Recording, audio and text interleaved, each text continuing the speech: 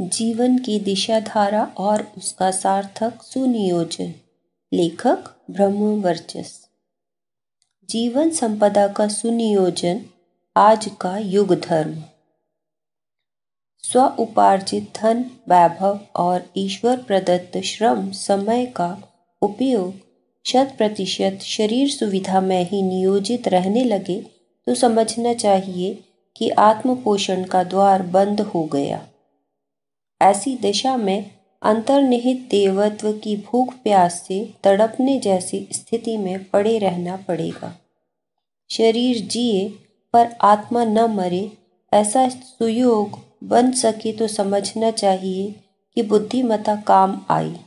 दूरदर्शिता को उपयोगिता दी गई। यह जीवन की सर्वोपरि समस्या है। दैनिक प्रयोजन में आए दिन कई उतार चढ़ाव सामने आते हैं। उनका महत्व राई रत्ती जितना है। राई को पर्वत और पर्वत को राई की तरह नहीं आंका जाना चाहिए। आए दिन सामने आने वाली समस्याएँ अपने समाधान मांगती हैं और विवेक एवं पौरुष की जाँच पड़ताल करने के बाद इधर या उधर लुढ़क जाती हैं। जिसका जितना महत्व है, उसे उतना मान मिलना चाहिए। तिल का ताड़ नहीं बनाया जाना चाहिए। सर्वोपरि महत्व की समस्या एक ही है। उसी पर पूरी तरह अपना वर्तमान और भविष्य अवस्थित है। वह है, जीवन की संपदा का सही सदुपयोग करा सकने वाला निर्धारण। जिसने इस गुत्थी को सुलझा लिया, समझना चाहिए कि उसकी प्रायः सभी साधारण समस्याएँ अनायास ही हल हो गई। जीवन अजस्र सौभाग्य की तरह मिला है। इसका महत्व समझा जाना चाहिए। यूँ फिजूल खर्ची और बर्बादी हर वस्तु की बुरी मानी जाती है। पर यदि जीवन संपदा के बारे में उस मूर्खता का उपयोग हुआ तो समझना चाहिए कि अनर्थ ही हो गया। ऐसा अनर्थ, जिसका भूल सुधार समय निकल जाने के उपरांत किसी भी प्रकार संभव नहीं हो सकता। मनुष्य इस सृष्टि का मुकुटमणि है। तदनुरूप ही उसे गौरव और वर्चस्व भी मिला है।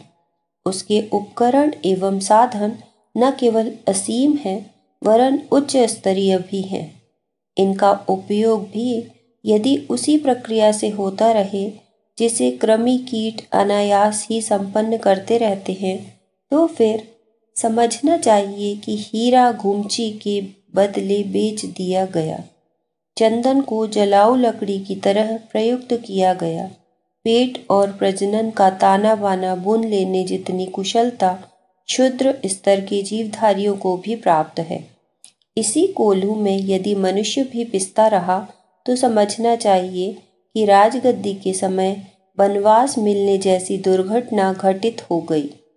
यदि मनुष्य इतनी छोटी परिधि में जिए इसी कुचक्र में कोल्हू का बैल बना रहे तो समझना चाहिए कि उपलब्ध गरिमा का श्राद्ध तर्पण हो गया। मनुष्य महान है, महान का ज्येष्ठ पुत्र युवराज है, इसलिए स्वभावतः उसका उत्तरदायित्व भी महान है। उनकी उपेक्षा अवज्ञा इसलिए नहीं होनी चाहिए कि लोभ, मोह, जाल, जंजाल में उलझे रहने के अतिरिक्त और कुछ सूझता ही नहीं। महान प्रयोजनों की ओर ध्यान दिया ही नहीं जाता। हे योनियों के ऊपर उठकर मनुष्य स्तर तक पहुँचने पर मंजिल पूरी नहीं हो पाती। अभी महामानवों, ऋषियों, सिद्ध पुरुषों, देवात्माओं और अब तारों की पदोन्नति के अनेकों अवसर विद्यमान हैं। उन सबसे मुख मोड़कर ललक लिप्सा की कीचड़ ही नहीं चाटते रहना चाहिए। विश्व उद्यान को अधिकाधिक सुरम्य, समुन्नत, सुव्यवस्थित बनाने की ज़िम्मेदारी मात्र मनुष्य की है। आदिम युग से लेकर अब तक के इतिहास में उसी की गरिमा का बोलबाला है। उबड़ खावड़ खाई गड्ढों वाली इस कानी कुबड़ी धरती को चित्र जैसी सुंदर कलाकृति के रूप में परिणित करने में उसकी सूझबूझ और तत्परता ने महती भूमिका निभाई है। पर आगे समग्र प्रयोजन पूरा कहाँ हुआ? जो करना शेष है, जितना कराना बाकी है, वह कहीं अधिक है। विगत की तुलना में आगत अधिक भारी है। उस ज़िम्मेदारी का बहन भी उसी को करना पड़ेगा। मनुष्य भी स्वभावतः वन मानुषों की बिरादरी का है। मानवीय चेतना के विकास की अगणित मंजिलें पूरी हुई हैं। आदिम काल में न भाषा थी, न लिपि, न वस्त्र थे, न उद्योग। शिक्षा, चिकित्सा, परिवहन, संचार, शिल्प विज्ञान, कला जैसे प्रसंगों से नर वानरों का भला क्या संबंध रहा होगा? यह मानवीय सूझबूझ ही है कि उसने परिवार, संस्थान, समाज और शासन का ढांचा खड़ा कर दिया। नीति, दर्शन, आचरण और अनुशासन का ऐसा तंत्र खड़ा किया कि मनुष्य को सभ्यता का दावेदार और सुसंस्कारिता का धनी कहा जा सकता है। इसमें ईश्वर की अनुकंपा के उपरांत यदि किसी की सराहना हो तो इसके लिए मनुष्य द्वारा चेतना क्षेत्र में प्रस्तुत की गई भूमिका को ही श्रेय दिया जाएगा। सुविधा संवर्धन और भावनात्मक परिष्कार के दो रचनात्मक क्षेत्र तो मानवीय पुरुषार्थ को भाव भरे निमंत्रण देते हैं। समय की चुनौती भी वरिष्ठता को झकझोरती है। इसके अतिरिक्त संव्याप्त विकृतियों की गंदगी भी कम विषमता उत्पन्न नहीं कर रही है। अनाचार का प्रदूषण वातावरण में इतनी घुटन भर रहा है कि सांस लेते न बन पड़े। इससे जूझना एक तीसरा मोर्चा है, जिसमें लड़ने के लिए भी मनुष्य को ही प्रत्यंचा चढ़ानी और तुम्बीर की फेंट बांधनी पड़ेगी। सर्वनाश की विषम विभीषिका में इस महाभारत के लिए गांडीवधारी को नियति ने आवाहन भेजा है। युग धर्म के निर्वाह से इनकार करने की बात उससे नहीं बन पड़ेगी, जिनमें मानवीय गरिमा की अनुपम ओजस विद्यमान है। मनुष्य पेड़ नहीं है, उसकी सत्ता कृष्ण के लिए समर्पित नहीं हो सकती। निर्वाह का तिल लालच का पर्वत बन पड़े, ऐसा भी क्या? परिवार एक हंसता हंसाता उद्यान है। उसे भव बंधन मानकर क्यों रखा जाए? समाज के साथ जुड़कर उदात विशालता का अभ्यास किया जाता है। उनमें भेड़ियों जैसा परस्पर फाड़ खाने का प्रचलन क्यों बढ़े? करने योग्य वह नहीं है जो किया जा रहा है। सोचने योग्य वह नहीं है जो सोचा जा रहा है। मानवीय गरिमा को न अस्त होना चाहिए और न अंत होने जैसी विपन्नता से आक्रांत होना चाहिए। तब करना क्या? इसका उत्तर एक ही है कि हम में से हर एक मानवीय गरिमा का स्मरण करें। देखें कि उसके लिए कूलर का भुनगा, कुएँ का मैडक बनकर संकीर्णता की चार दीवारी में बैठा रहना ही पर्याप्त है या इससे आगे की भी कुछ बात हो सकती है। विचार की आवश्यकता ही न समझी जाए तो बात दूसरी है। अन्यथा गहराई में उतरने पर हर सीढ़ी एक भाव भरी प्रेरणा प्रस्तुत करती दिखाई देगी। नव परिवर्तन के प्रभात पर्व पर उसे विशेष रूप से अपने महान उत्तरदायित्वों का स्मरण करना चाहिए और जो संभव हो सके उसके लिए अधिकाधिक साहस जुटाना चाहिए। कौन क्या करे? यह निर्धारण अति सरल है। अपनी मन स्थिति और परिस्थिति के अनुसार नव सृजन की त्रिवेणी की किसी भी धारा में स्नान, अवगाहन करने लगे। सुव्यवस्था, स्वच्छता और शालीनता के तीन मोर्चों में से किसी पर भी तीनों पर भी जूझने का उपक्रम बन सकता है। अभाव, अज्ञान और अनाचार के त्रिविध असुर, महिषासुर, भस्मासुर और वृत्तासुर की तरह आलस्य, अहंकार और अनाचार की तरह अपनी दुर्दांत दुष्टता का परिचय दे रहे हैं। ऐसे आपत्ति काल में किसी भी जीवंत को मूक दर्शक बनाकर हाथ पर हाथ रखकर बैठे रहना अशोभनीय होगा। तिनके की आड़ में पर्वत नहीं छिपाना चाहिए। मनुष्य न विवश है, न पराधीन, न दुर्बल। आत्मविस्मृति ही उस पर अभिशाप की तरह चढ़ दौड़ती है और राजा को रंक जैसी अनुभूति कराती है।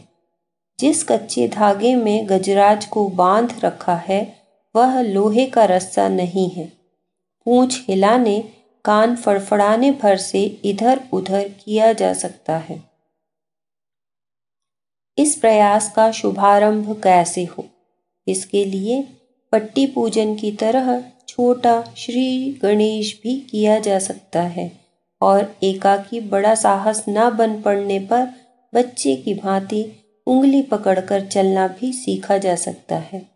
सब कुछ या कुछ नहीं वाली अतिवादिता कोई रास्ता नहीं निकालती। वरन असमंजस खड़ा करती है। युग निर्माण की सदस्यता में न्यूनतम शर्त जुड़ी हुई है कि नित्य नियमित रूप से दस पैसा ज्ञान घट में डाला जाए और एक घंटा समय जनसंपर्क द्वारा युगांतरीय चेतना के आलोक वितरण में लगाया जाए।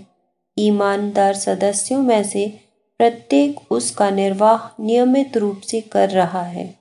आलसी और अश्रद्धालु ही आनाकानी करते हैं। यह निर्धारण उद्देश्यपूर्ण था। जागृत आत्माओं को अपनी वरिष्ठता बकवास से नहीं, सेवा साधना से प्रत्यक्ष प्रमाण प्रस्तुत करते हुए सिद्ध करनी चाहिए।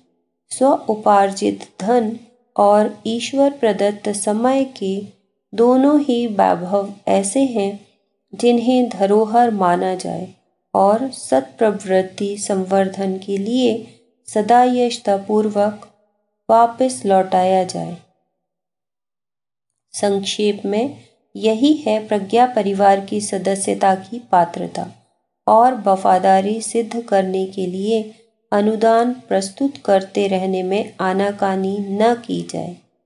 परिणाम चाहे कितना ही छोटा क्यों न हो, पर उसका संकल्प तो उठे, अभ्यास तो बने, स्मरण तो रहे, उदारता की कली तो खिले, योगदान की उमंग तो जगे। अब समय बहुत आगे बढ़ गया। सैतीस वर्ष पुराने उन संकल्प शिशुओं में प्रौढ़ता प्रकट होनी चाहिए। और अनुदान का स्तर बढ़ना चाहिए।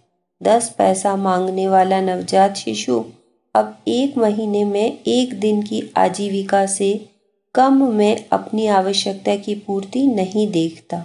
यह आर्थिक कठिनाई का नहीं, आस्था की प्रौढ़ता का प्रश्न है। उनतीस दिन की कमाई में भी महीना कट सकता है।